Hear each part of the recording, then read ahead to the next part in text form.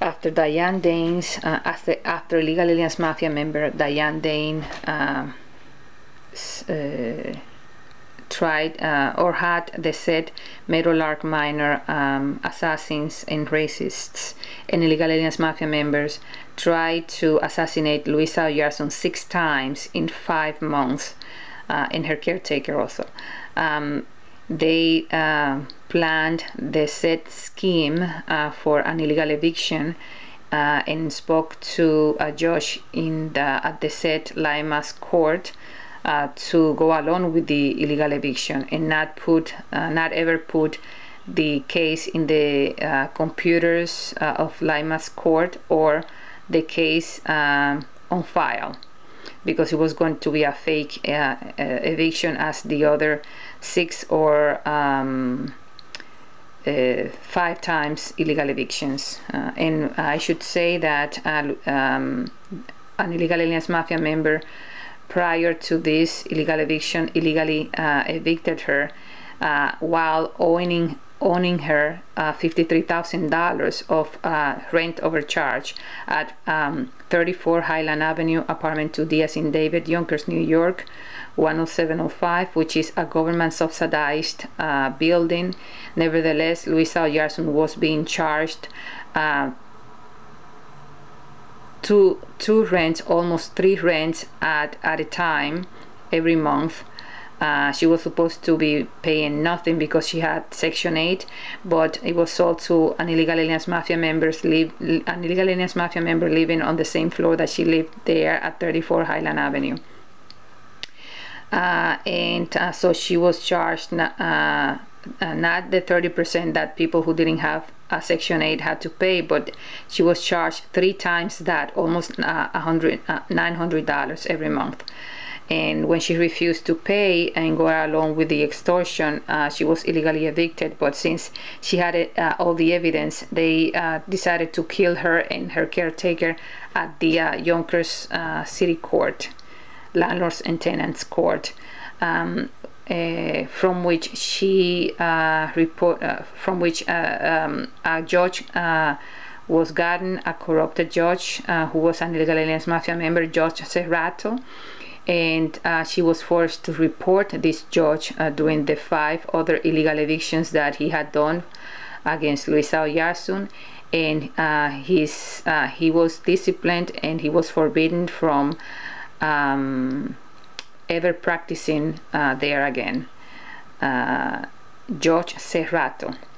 And going back to illegal aliens mafia member Diane Dane, an assassin of American citizens, after stealing their identity and government benefits, because they have to guarantee to the illegals that they're not going to be reported or bothered by the um, owners of the identities that they sell. So they had to assassinate the uh, citizens that they steal the identities from after the, their government benefits have been processed and the illegals are getting their identity as well as their government benefits.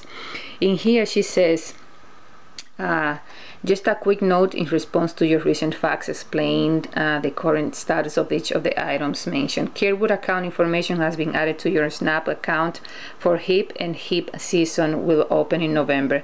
That means that Luisa Oyarzun will have to spend September and October freezing to death.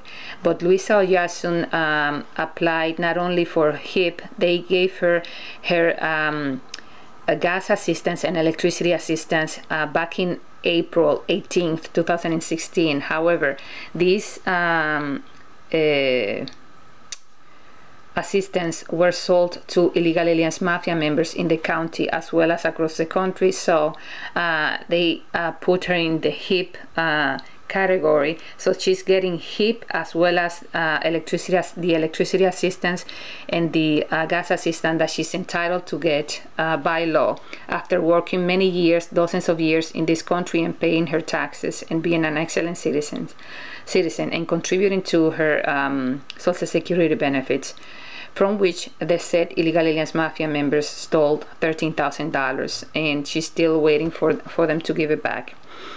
Through falsification of uh, records, of course, as they always do. It says here, National Grid shut off. If you need assistance with this, you uh, must come to the agency to apply for emergency assistance. She already went to the agency, and one of the schemes that the illegal aliens mafia members, as Diane Dane, uh, like Diane Dane, uh, uh, get involved uh, in is getting the uh, citizens after they process their paperwork and the, uh, the and they get the government benefits getting the citizens to apply over and over and over and over for the same thing and they never get it. So that's one of the schemes that they uh, do. And it says here possible eviction. It's really strange that uh, uh, Diane Dane uh, is mentioning eviction here because we never uh, told her about the eviction that was going on with uh, her dear friends, uh, the racists at the Meadowlark Manor Community uh, Trailer Community, and the the um, these people who are Ill also illegal aliens mafia members and and um, uh, are acting as the illegal aliens mafia members who get uh, welfare benefits and uh, other uh, benefits as government jobs uh, or employment with the government in exchange of doing favors for the mafia, for the said mafia, like illegally evicting um, elderly citizens who reported their stolen benefits stolen by their ma- the said mafia. It says here possible eviction. If you need assistance with this, you uh, must come into the agency to apply for emergency assistance. She already went into the agency and she uh, applied for um, the general assistance with uh, covers uh, electricity, gas assistance, housing assistance, and everything. She applied for everything, and she and she they continue to say to go back and apply. Plus, Luisa Oyarzun is homebound, and uh, they're supposed to do everything through the phone and through the USA mail as you can see um, in this letter that I'm uh, going to show you. Luisa Oyarzun has a letter from um, her doctor, which she hasn't been able to see in the last three years because her um, medical insurance, New York State Straight Medicaid, has been sold to illegals. In this letter, it says, um, her doctor says, November 16, 2010, uh, to whom it may concern. This letter is to certify that uh, Ms. Luisa Oyarzun suffers from the following conditions seizures, um, epilepsy, lower back pain, multiple sclerosis, degenerative joint disease, history of cervical cancer, esophageal ulcers, three of them, migraine headaches, two leaking heart valves, osteoporosis, arthritis. Um, she has uh, gone to two uh, cancer operations, cervical cancer in 1971 and in 1998. Nevertheless, the cancer came back due to the selling of her New York State Straight Medicaid by the said illegal aliens mafia members working as government employees to illegals in the country.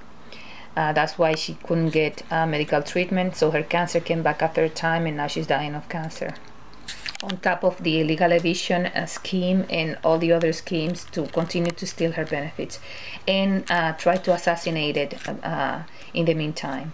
It says here she also has problems with her pancreas uh, and she's hard of hearing.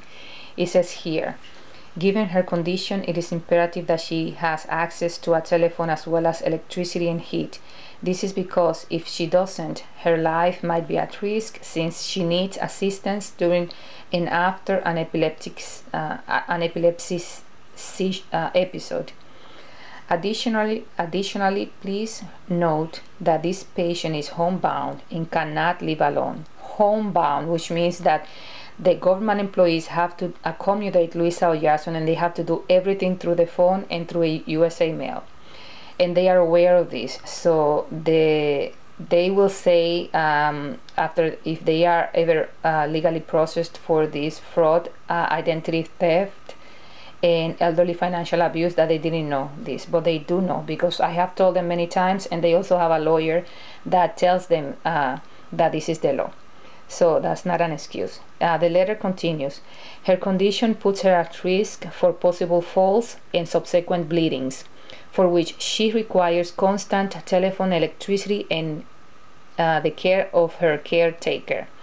Thank you for your attention. Sincerely, um, uh, Dr. Ida M. Middle initial Soto Cruz Soto, uh, MD. Uh, she's located at 200 South Broadway, Suite 104, Tarrytown, New York. 1 at 914-631-1535. And she dated uh, this letter um, January 25th, 2012 and January 10, 2013. That is the last time that Luisa Oyarzun received uh, medical care uh, and medication besides the emergency where she has been trying to uh, access uh, in order for her to stay alive. But uh, she continues uh, with her immune system uh, very uh, low, non-existent, non-existent almost, and continues going without medication and without um, the her government benefits or, or, the stolen um, New York State's trade Medicaid from her.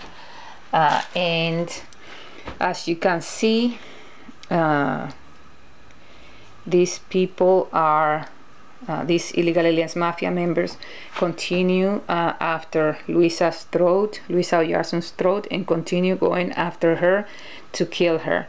We have uh, contacted uh, Amnesty International, Human Rights, which Diane Dane uh, was involved with, ironically and cynically.